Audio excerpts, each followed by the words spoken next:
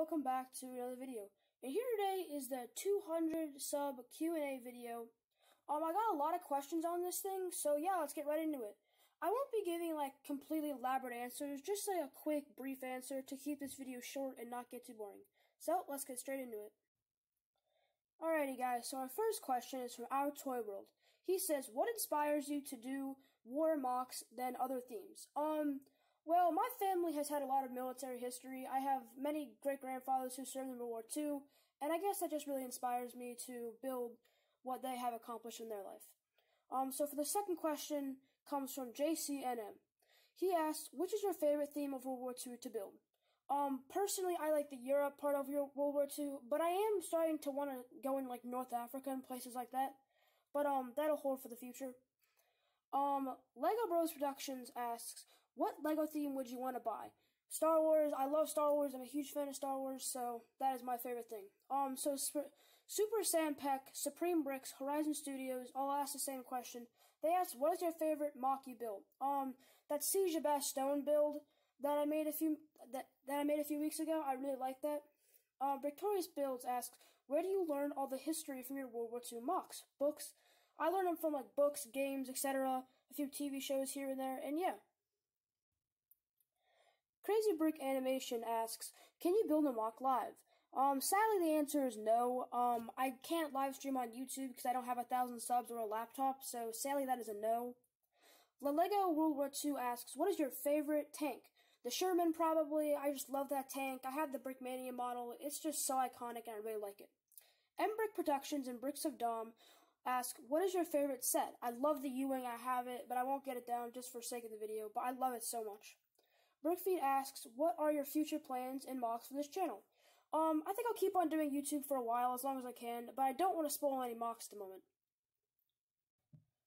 BrickBro737 asks, Have you ever been to a con? Yes, I have been to Brick Fair, Virginia when I was a little kid, but I wasn't really into Lego back then, so I didn't really get much from it. So, yeah, I have been to a convention. RL's Lego and Brick Brothers Productions ask, Who inspired you for starting a YouTube channel? Um, Clone Trooper X39 really inspired me. I followed him from his Polilo series, and I just love that guy. He's a huge inspiration to me. Lego Fan Man asks, What is your favorite present you've gotten for like a birthday and Lego present? Um, the 2015 Millennium Falcon I got when I was, I don't know, but I got for my birthday a few years ago. Nick's Brooks Product One and Ranty Productions asks, What's your fav Lego Clone Wars set? Gun the gunship is my favorite Clone Wars set. I have the 2013 one, but it's pretty broken, so I'm not gonna get it. But I love that set so much. Dr. D Gaming asks, Have you ever considered making tank models? The answer is no. I only really like Lego. I haven't really been interested in like modeling or anything like that, so yeah. The Ex Machina Guy in LCW Productions asks, What is your favorite World War II battle? Um, I really like the Battle of Dunkirk. That is a very interesting battle. So, um, you may see a few MOCs here and there about that battle. Little Brooks asks, asks, what country do you mainly focus on collecting? Uh, the, the answer is America because I'm American. Um, and also they're kind of like the easiest faction to get of World War II and stuff like that. Coconut Brick Productions, Coconut Brick Studios, excuse me, asks, what is your favorite YouTube channel? Um, the Brick Wiz, Rich Boy J, and M&R are probably my top three. Lego Panther 21 asks, if you could build a MOC, a massive MOC, what would it be? Um, probably the Battle of the Bulge, because I have a great grandfather who was there, and um, he was just really cool, and he, I met him a few times, but he talked a lot about it. It was really interesting. Eric Brick Studios asks, will you ever make a stop motion of your MOCs? Um, the answer is no, but I may make a few separate stop motions in the future. Lego Man 123 asks, what is your favorite movie? I love The Hobbit. That is my favorite series. I may want to make a few MOCs out of it in the future, though. JLR Games says, Have you ever dropped a finished MOC? No, but I have dropped my Brickmania Sherman the moment I finished it and it broke everywhere. LWSA Productions asks, what, uh, what Star Wars set would you like to buy multiple of? The 2009 Clone Battle Pack I would love to have like 20 of.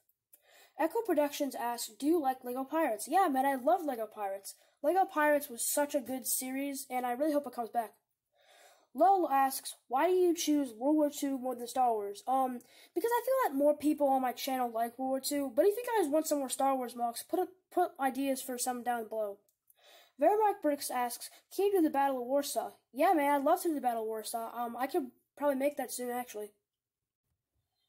Alrighty guys, so that concludes the 200 sub Q&A video. I, I actually got a lot of good questions. I had like 25 questions in this thing.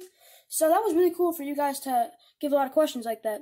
I hope I gave some good answers. I think I did. But um yeah, thank you for 200 subs again guys. I'm already at like almost 220. So um thank you guys for that. Like, comment, and subscribe, and I'll see you guys in the next video. Enjoy and have a great day. See ya!